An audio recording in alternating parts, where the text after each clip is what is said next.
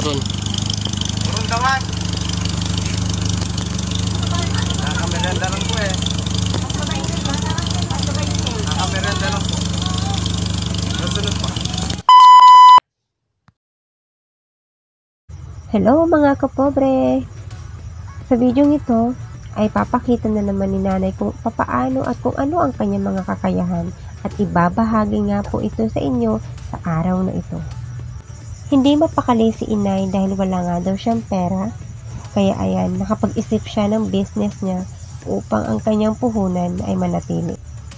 Kung naaalala nyo nga po sa video nito ay nangangalakal si nanay kasama si Peo upang magkaroon ng puhunan at siya namang itong kanyang ginamit ngayon at nagkaroon nga po siya ng puhunan dito sa pangangalakal bote at siya naman kanyang ginamit upang magtinda ngayon ng turon. Po, bili na po kayo. Turon po, bili na po kayo.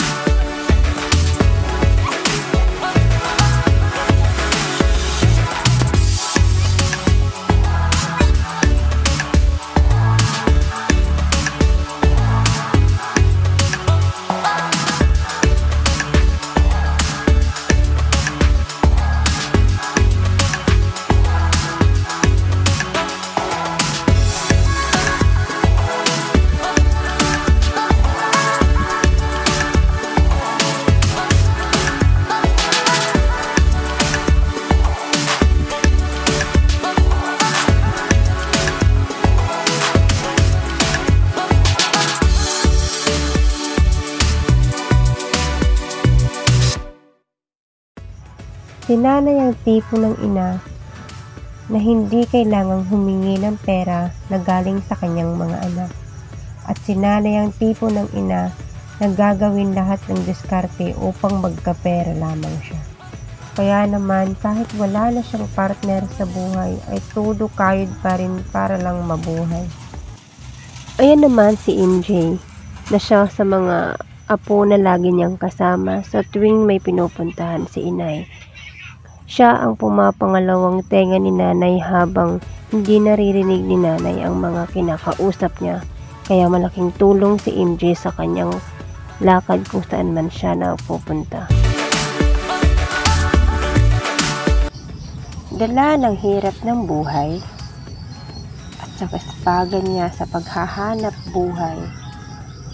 Minsan nakakalimutan niya ng kumain kaya naman nagkaroon siya ng problema sa kanyang pandinig. Humina ang pandinig ni nanay kung kaya't nahihirapan siyang makisalamuha sa karamihan dahil nahihiya nga siya dahil sa kanyang kabingian. Minsan nakakaawa at pinagtatawanan siya dahil hindi niya naririnig ang mga sinasabi sa kanya. Ganun pa man ay patuloy pa rin siya sa agos ng buhay.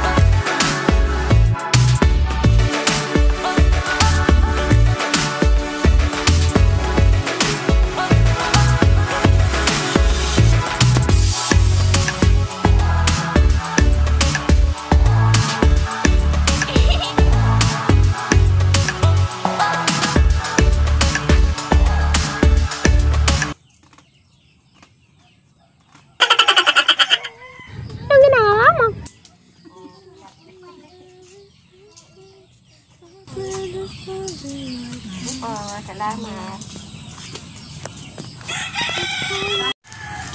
Apat. Ay, tatlo. Tatlo. Ay, ay, pati.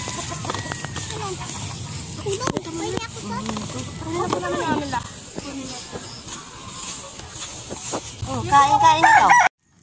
Hindi pa man nga lumabas ang kanyang puhunan at talaga naman pinakain niya na ang kanyang mga kasamahan sa pagtitinda.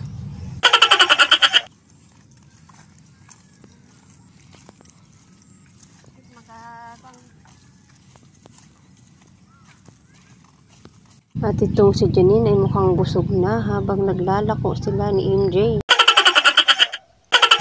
Turon po, bili na po kayo. Turon po, bili na po kayo.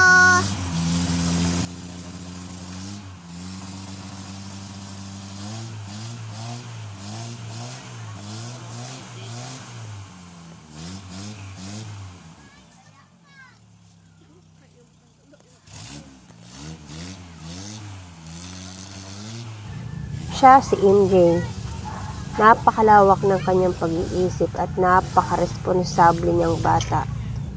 Iminulat sa kanya ni nanay ang hirap ng buhay dahil siya na rin mismo ang kasakasama nito mula ng pagkapanganak ng kanyang ina ay lagi na silang magkasama ni nanay. Si MJ ang siyang sumasagot sa tuwing may mga tumatanong kay nanay kapag hindi niya ito naririnig. Kaya siya na rin ang pumapangalawang tenga ni inay. Turun dawan. Nakamerenda lang po eh. Nakamerenda lang po. Nasunod pa. Hindi pa rin patitinag si nanay at sadya talagang gusto niyang mapaubos ang kanyang paninda bago man siyang makauwi ng bahay. Siete ni? Siete. Siete, ocho. Yate, Siete, ocho. Siete. Siete. kaulunan. Talaga po, talaga po. At pinautangan pa nga niya si Peu dahil wala nga daw pera si Peu. Kaya yan, sige kain ka lang Peu, masarap ang utang.